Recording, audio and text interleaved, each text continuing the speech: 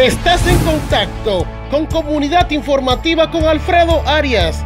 Comunidad Informativa te ofrece reportajes, temas de corte religioso, entrevistas, entre otros temas de interés. Comunidad Informativa con Alfredo Arias. Desde el pasado 6 de diciembre del año 2020, cuando tomaba posesión la actual directiva de la Junta de Vecinos, profesora Graciela de León de Boca de Nigua, ese mismo día se cumplió con la solicitud hecha por la dirigencia del Partido Revolucionario Moderno PRM en la persona del encargado de INAPA en la demarcación de Nigua, el señor Radamés Cabinero, mejor conocido como PIN, de que se le fuera entregada la llave y el manejo del acueducto de Boca de Nigua, pero según los moradores, todo el avance obtenido hasta ese momento se echó para atrás, pues en diferentes hogares de distintos sectores no llega el preciado líquido desde hace meses y los que asumieron ese compromiso se muestran indiferentes. Los sectores que tienen estas dificultades son los céspedes, Hacienda María, la cerca y una parte del barrio sin ideas. Esta situación ha disminuido la calidad de vida de decenas de familias que tienen que comprar tanques y camiones de agua que van desde 50 a mil pesos un camión. Nos encontramos con Agustina Perdón, mejor conocida como Cruzita. ¿Cómo se siente? Yo muy bien, gracias a Dios. ¿Cuál es la situación, Cruzita, que hay aquí en la bajada de los céspedes con el agua? Bueno, la situación del agua es, tenemos seis meses que no nos llega ni un poco de agua, ni un chin. Todos los sitios van menos para acá. De donde Sandy, donde Ramón no llega una gota de agua. Entonces, yo digo que eso hay que darle una solución para saber el problema de esa agua. Porque siempre dicen que está tapado, que está... Y los que están a cargo de, de, de, del funcionamiento del acueducto, ¿cuál es, ¿cuál es la solución que, le, que, les brindan? Porque ustedes tienen tiempo sin agua. Bueno, hicieron un, hoy, un, hicieron un, hoy, un pequeño hoyo allí donde Nati, para poner que otra llave de paso, para ver si no llegaba el agua. Pero volvieron y lo taparon y no han hecho nada. ¿Y el manejo a nivel económico, cómo usted se hace?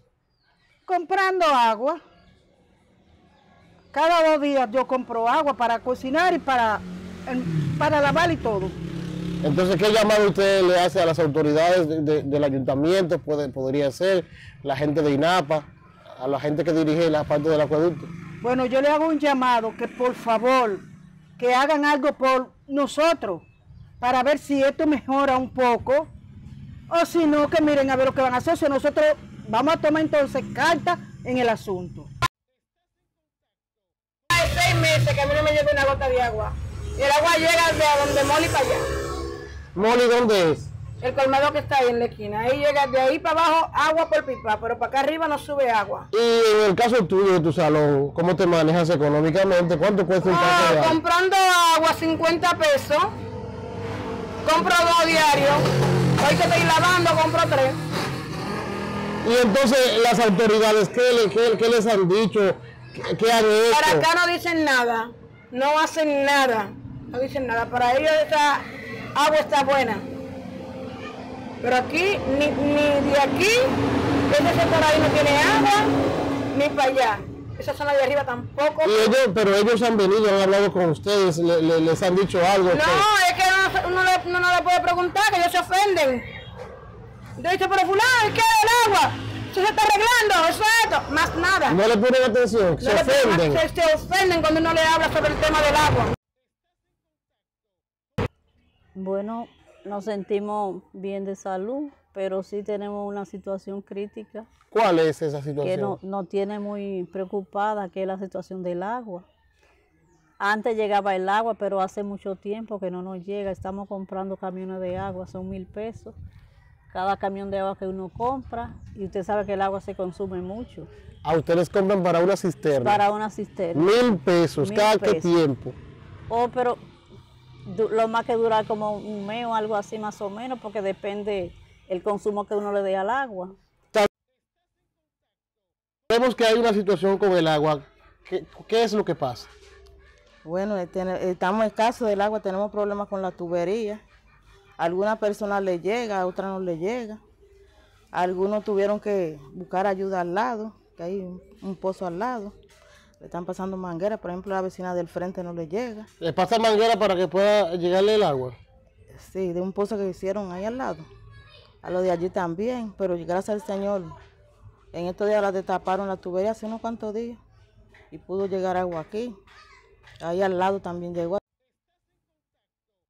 ¿Cuál es la situación que hay aquí en la cerca con el agua? Bueno, fíjate, la situación que hay con el agua es que de- hace un tiempo para acá, aproximadamente como dos meses, no está llegando el apreciado líquido. No sé por qué, porque en otros sectores está llegando. Eso quiere decir que no es que el agua está dañada, no sé a qué se debe. Y, y- y los que están a cargo de, de esa, de ese manejo, ¿qué, qué les dicen? Ellos no nos dicen nada. Uno le pregunta y dicen que la van a mandar y, y el agua no llega. Y en el caso, ¿cómo te manejas? ¿Compras agua? ¿A cómo la compras? Eh, los tanques lo estamos comprando a 50 pesos, pero yo lleno la cisterna que tengo aquí al lado y los camiones me cobran aproximadamente, algunos cobran 800 y otros cobran hasta mil pesos por llenar una cisterna. Nos encontramos con Felicita Pérez. Felicita, mejor conocida como Chomba. ¿Cómo se siente? Yo me siento bien.